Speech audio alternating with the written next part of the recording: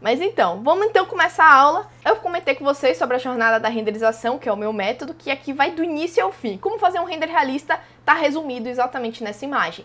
Então entenda que para fazer uma imagem realista, você não vai precisar estudar apenas uma coisa, vai ser uma sequência de fatores. E hoje especificadamente trabalhamos nesse pilar daqui, que é o pilar do material. Então vamos lá. Quando você vai fazer uma renderização realista, você vai buscar sempre estudar componentes que deixam o seu render mais realista, correto? Faz sentido. Porém, também existe um outro fator importante de você entender para poder você conseguir também chegar a uma imagem mais realista, melhorar a qualidade de suas apresentações, que é os vilões do realismo. O que você não deve fazer, onde você deve prestar atenção para que você não estrague a sua renderização. E aqui existem alguns vilões do realismo. O primeiro é usar blocos ruins na sua cena, literalmente blocos de baixa qualidade, mal modelados.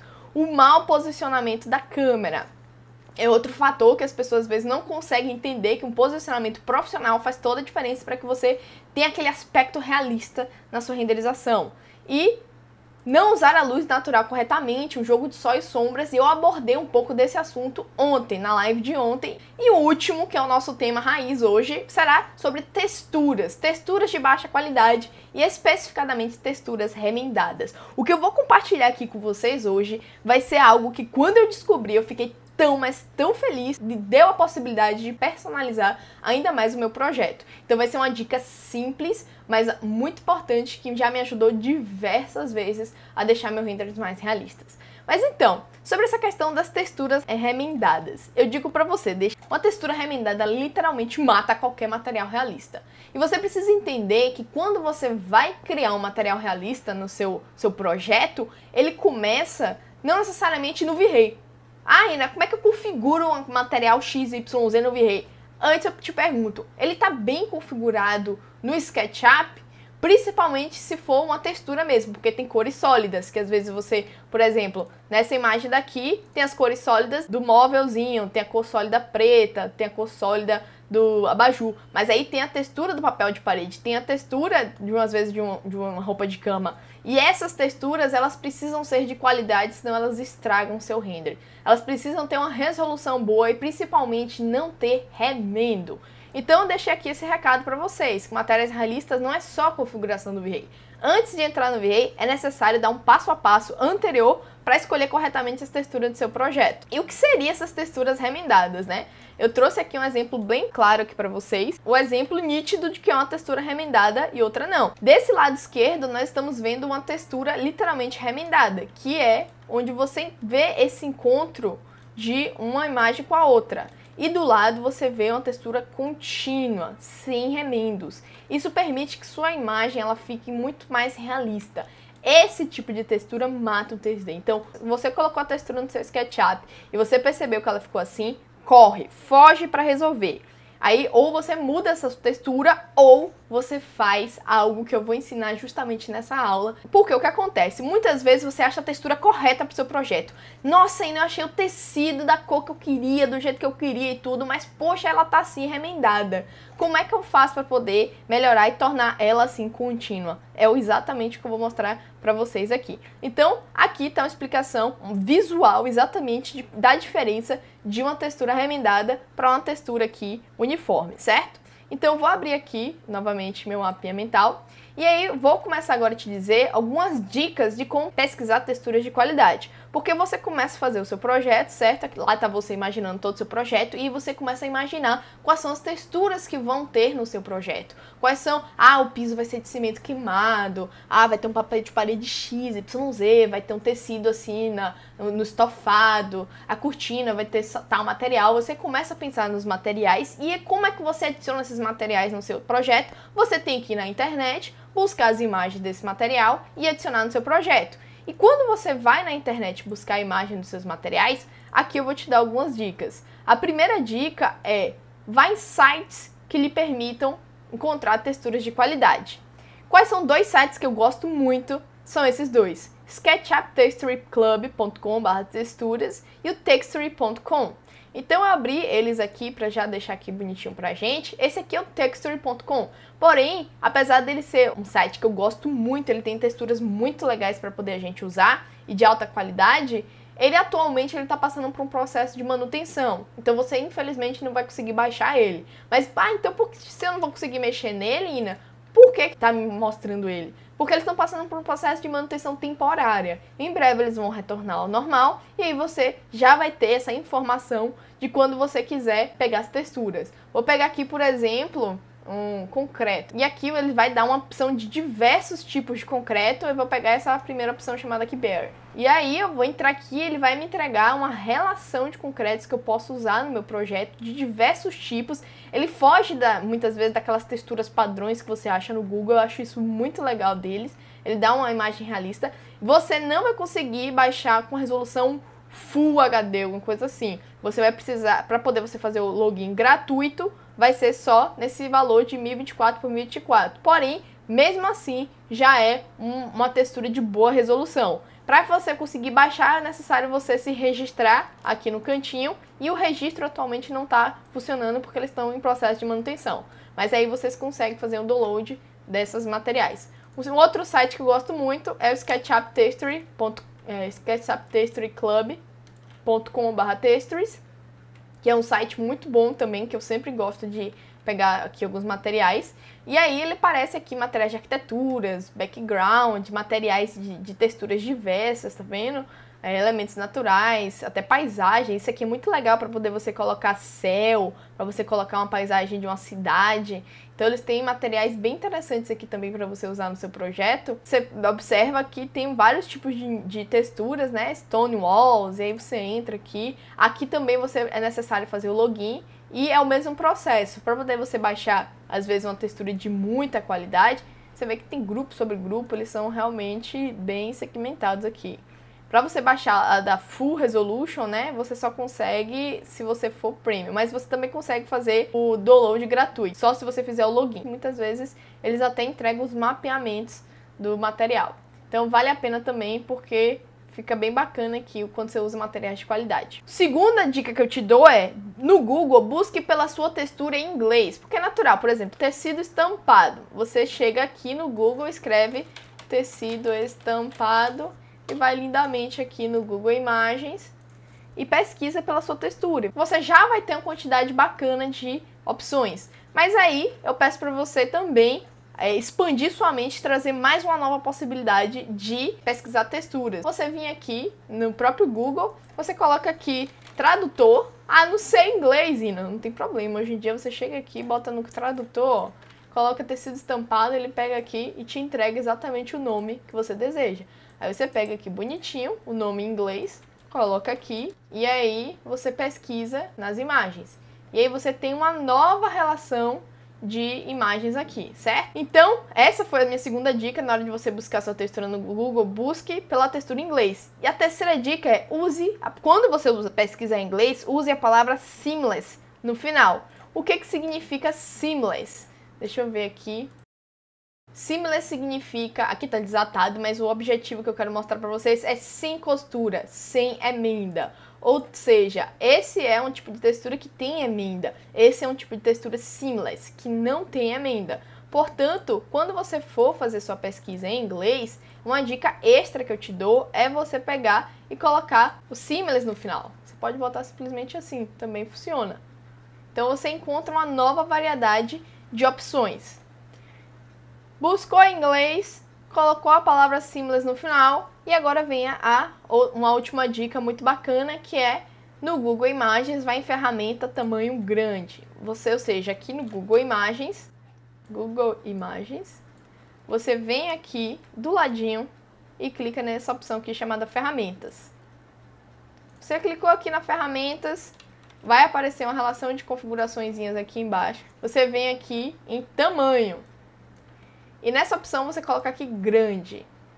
Uma vez que você faça isso, você vai se deparar com uma nova relação de texturas que elas estão como seamless, ou seja, isso não é garantia, tá? Quando você coloca o nome seamless no final, existe a possibilidade maior de você encontrar texturas sem, sem remendo, mas isso não é 100% garantido também. Mas em compensação, quando você coloca o tamanho grande, veja que a resolução aqui da sua textura, ó, ela fica maior. Essa aqui acabou saindo menorzinha, Deve ser daqui, ó. 2000, até quase mil.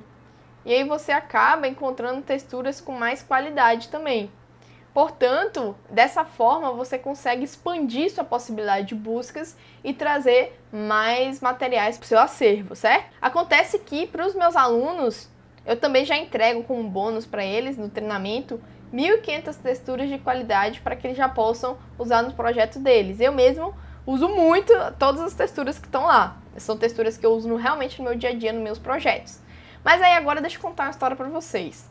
Teve um dia, tava fazendo um 3D para uma arquiteta, ela pegou e me pediu para poder eu pegar e colocar um determinado tecido específico no 3D.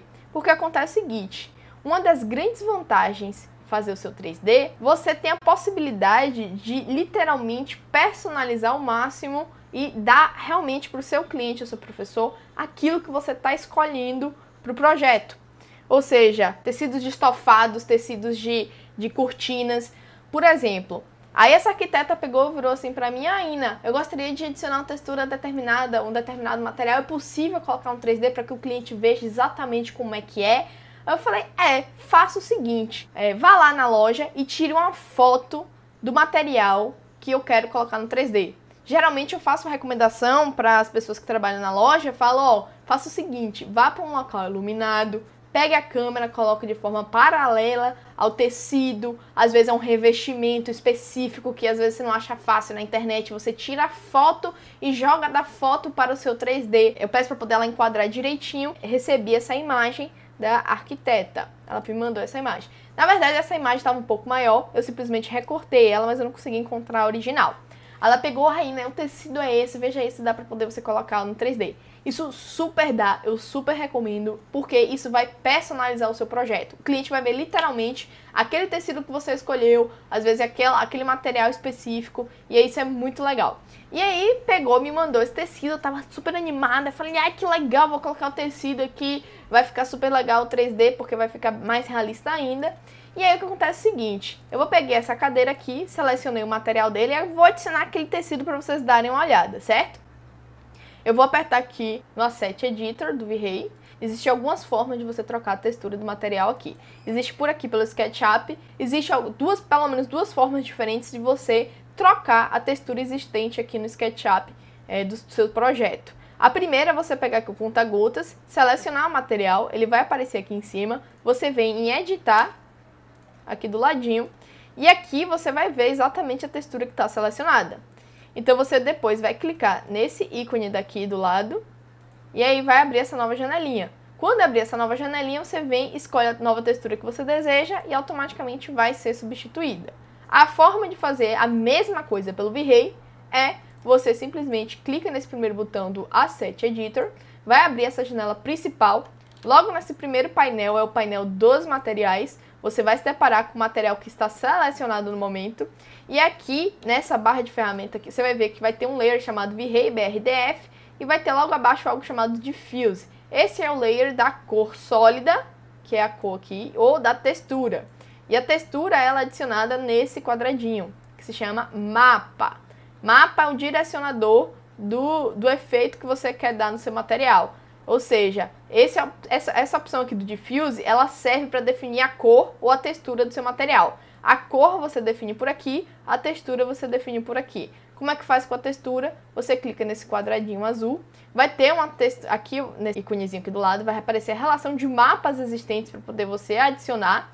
Às vezes é difícil de entender esse conceito de mapa quando você está no começo, mas não se, não se preocupe porque isso vai, você vai se acostumando com o tempo. Existe esse mapa do bitmap, é o mapa da imagem. Ele tem até a imagenzinha aqui, que é quando você adiciona uma imagem, determinada imagem. Então, quando você abre, vem aqui, aperta nesse quadradinho e abre, vai estar a sua imagem, que a sua textura que você adicionou, e aí você clica nesse ícone daqui para poder mudar a textura. Então você puff, clica aqui, vai abrir a mesma janelinha se você tivesse clicado no outro ícone aqui do SketchUp, tá? É o mesmo caminho. Então eu vou aqui adicionar a textura que me enviaram, apertei aqui, vou apertar no back, e olha só, ela ficou toda desconfigurada. Vou mostrar aqui para vocês, para poder vocês perceberem um pouco melhor como é que ficou o estrago da coisa. Olha só, Essa textura tá realista? Não tá, né? Ela tá muito parecida com a de cá. O que foi que aconteceu? Finalmente eu descobri uma forma incrível de resolver esse problema. Saca só. Existe um programinha chamado GIMP. Essa vai ser o ponto alto da aula. Pega o papelzinho, a caneta e anota que isso vai ser bom. Como resolver a textura remendada? Muitas vezes você vai estar exatamente nessa situação. Você fala, meu Deus, como é que eu resolvo? Ah, lembrei que Ina me deu uma solução muito boa. Que solução foi essa? Você vai baixar um programa chamado GIMP. Esse programa é muito bom. Você vai nesse, nesse site aqui chamado www.gimp.org downloads.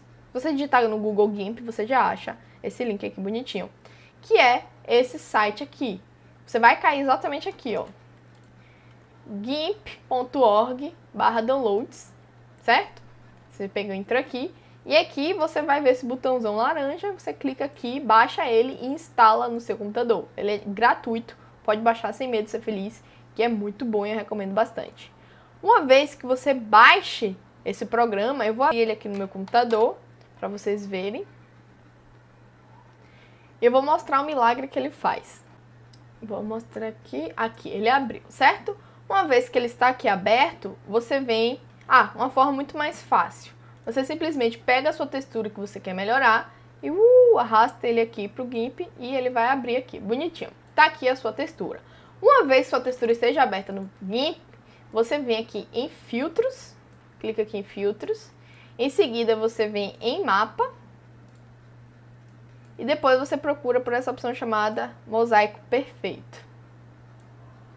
Então a gente vem aqui em filtros, mapa, mosaico perfeito.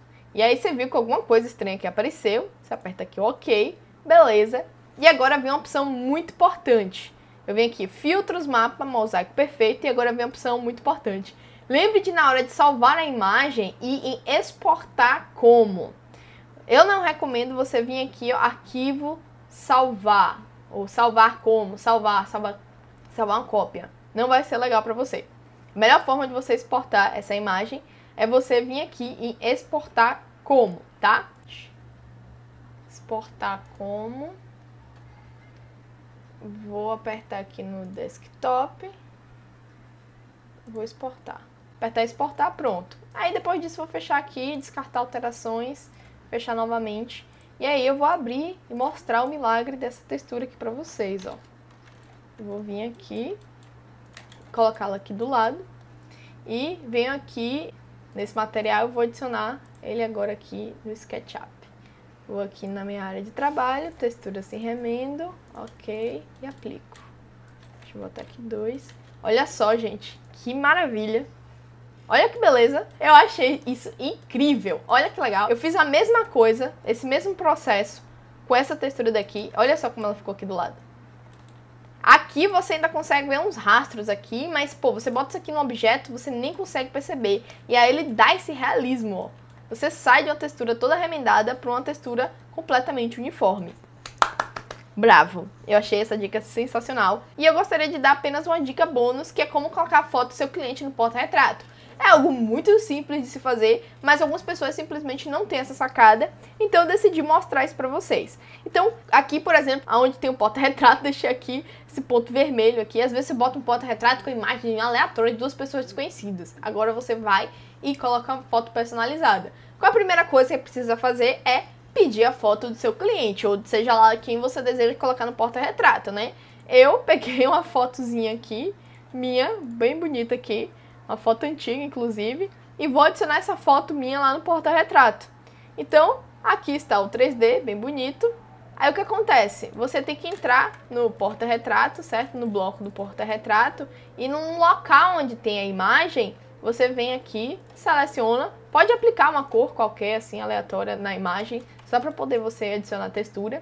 Em seguida, depois de aplicar uma cor aleatória, você vem aqui em editar, depois vem aqui nesse quadradinho, vem aqui na foto que você deseja, aperta em abrir. Acontece que muitas vezes a textura não vai ficar exatamente no posicionamento que você quer. Às vezes ele vai ficar maior, vai ficar menor, mas aí o que, que acontece? Você pode mudar as medidas por aqui, ó. Primeiro você pode mudar a proporção delas por aqui, que está nessa parte de editar. Então você pode chegar e diminuir um pouquinho Aqui tá 0,17, vou botar 0,1. Aí ficou cortado aqui no meio. Aí você fala, poxa, ainda não ficou legal, porque tem um negócio aqui bem no meio do cortando minha imagem. E aí, como é que você faz para poder deixar exatamente posicionado, bonitinho aqui? Você tem que selecionar a face do SketchUp, você não pode dar um duplo clique, digamos assim. Deixa eu colocar aqui para vocês verem melhor que na imagem eu não tá conseguindo ver, no porta-retrato.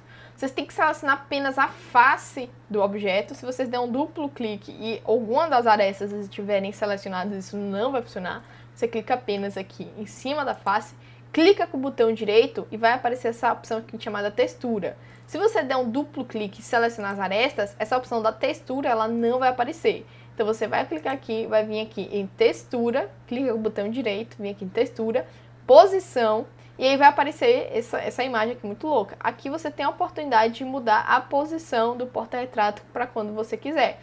Então eu peguei aqui e vou colocar nesse pontinho verdinho, você ainda pode aumentar ou diminuir a imagem do porta-retrato e deixá-lo ele bem centralizado.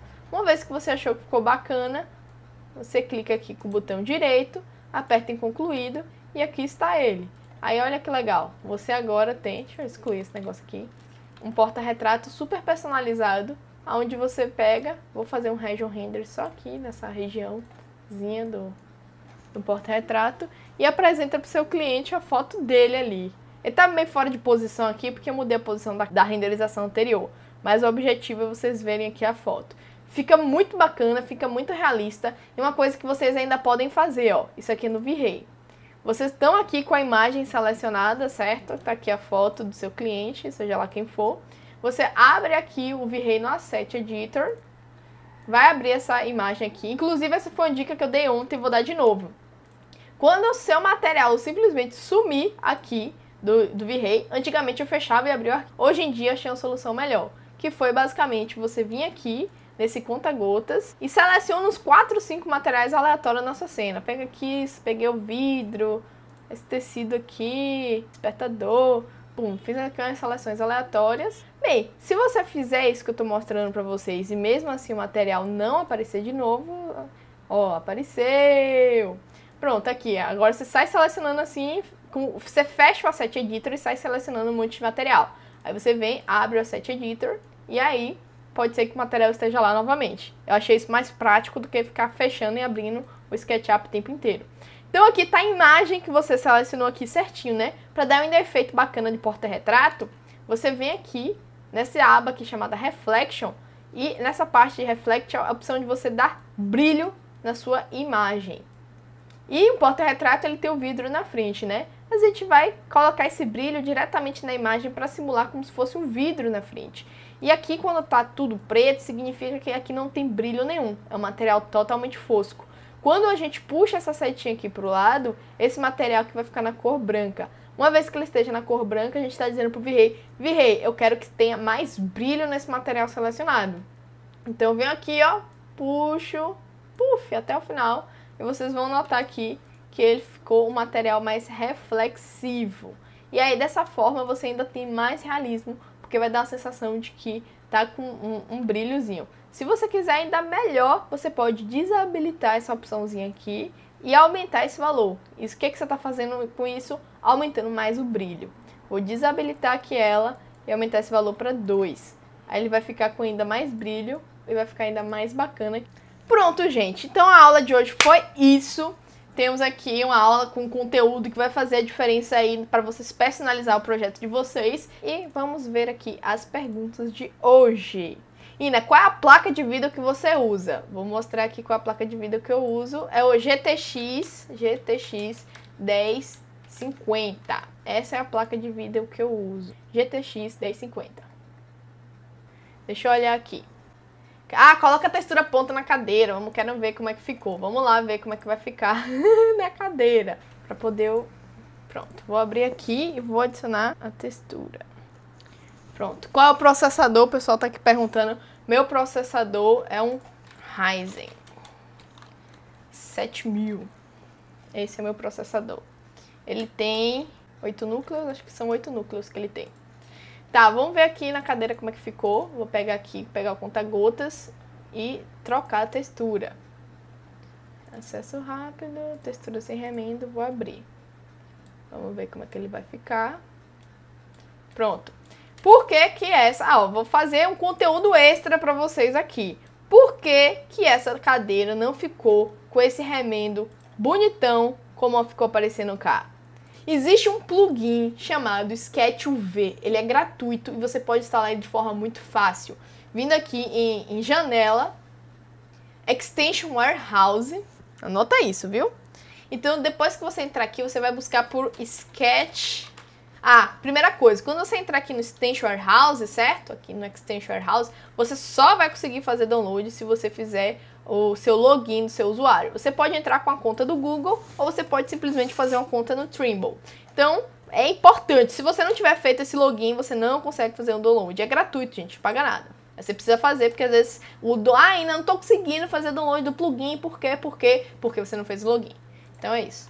Então, Sketch UV, você vai pesquisar exatamente assim, Sketch UV. Ó, Sketch UV. É um pluginzinho gratuito, bonitinho para você. Sketch UV.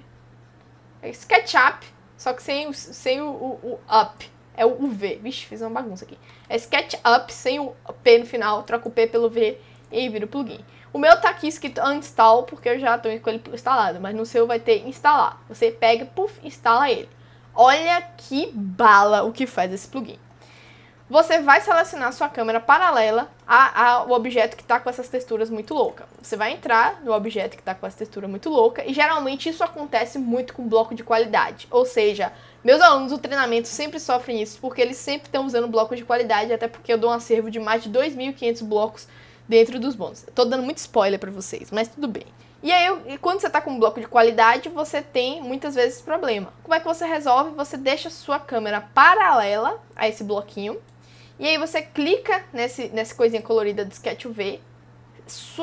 o bloco que você deseja melhorar a textura precisa estar selecionado. Observe que a parte de baixo está selecionada e a parte de cima não, porque eu só vou mexer na parte de baixo por enquanto. Vou clicar com o botão direito e vou aqui no Box Map. Ó, Box Map. Vou fazer aqui Box Map. E olha só, minha textura ficou perfeita. Gente, olha esses milagres que acontecem na sua vida que muitas vezes a gente não sabe por simples questão de falta de informação. E assim, eu tenho mais de 5 anos usando muito SketchUp, muito V-Ray, e eu te entrego aqui de mãos beijadas aquilo que mais funciona pra mim. Então vamos seguir em frente, e agora eu vou fazer aqui com esse daqui da frente, Ó, selecionei a parte de baixo, não está selecionada, só selecionei a parte da frente. E é necessário, é muito importante isso, você precisa estar com sua vista paralela ao objeto que você quer transformar, tá? Eu não vou me estender muito explicando todos os detalhes da lógica do que, por que que isso está funcionando, porque a live vai ficar muito longa. Estou explicando apenas puramente o passo a passo. Se você entender a lógica, você vai conseguir entender ainda melhor como usar esse plugin, mas como foi esse bônus extra, estou entregando aqui esse passo a passo para não me estender muito. Clica, tá a parte aqui selecionada, certo? Tem aqui o íconezinho, você clica nesse íconezinho, clica com o botão direito e aperta no Box Map. Olha só que temos aqui uma textura lindamente aplicada no seu projeto. E aí o que acontece? Ela tá gigante, tá gigante e a gente quer diminuir. Pra gente diminuir, a gente simplesmente precisa vir aqui. Eu vou pegar e diminuir o tamanho dela para vírgula 1. Ainda ficou meio grande, vírgula 0,5. E olha só, olha só, Vamos comparar aqui ela, bonitona, com aquela textura com remendo. Vamos botar a textura com remendo. Olha só como ficaria com remendo, você apresentar seu 3D assim. E aí você vem e pode ter a oportunidade agora, com essa super dica que eu te dei hoje, de vir aqui e colocar uma textura sem remendo. E ó, uh, coisa massa. Legal, né? Então, vamos lá ver mais perguntas qual V-Ray SketchUp que você usa? O V-Ray 3.4 e SketchUp 2017. São esses que eu peguei. E na notebook gamer dá conta dos programas assim ou fica com, ou com computador de mesa? Vinícius, é, um notebook gamer dá conta assim. Eu tenho um notebook gamer e tenho um computador. Os dois são muito bons, porém é inquestionável que o PC de desktop ele tem um desempenho muito melhor. Por, inclusive você paga menos por um desempenho maior.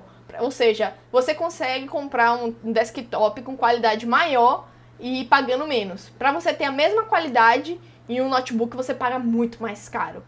Recomendo algum livro pela sua apostila, consigo ver essas dicas das aulas. Essa dica específico dessa aula você não vai conseguir ver na minha apostila. E eu não recomendo nenhum livro, porque até hoje eu nunca vi um livro mais completo do que a minha apostila de Virrei. Sem brincadeira. Olha que eu busco coisa pra caramba de Virrei. E já comprei livro de Virrei e mais me confundiram do que me ajudaram. Então, se você quer um livro bala, com quase 200 páginas de conteúdo completão, vá na fé na minha apostila, que ela vai te ajudar muito mais do que qualquer coisa que você vê aí. Você tem o curso de Virrei 3.6, eu tenho o de Virrei 3.4, mas eu tenho já alguns alunos que já se atualizaram para 3.6 e eu perguntei para eles, o curso tá dando para acompanhar tudo direitinho? Eles falaram que dá. Tá dando para acompanhar, porque é praticamente igual, só tenho pequenas funcionalidades específicas a mais no VRE 3.4. Como você faz para baixar minha apostila? Muito simples. Entra no meu blog, ó, meu blog tem um bocado de coisa gratuita. virreiprasketchupblog.com, você vai entrar aqui no meu site. Primeira coisa que você vai ver aqui é essa apostila.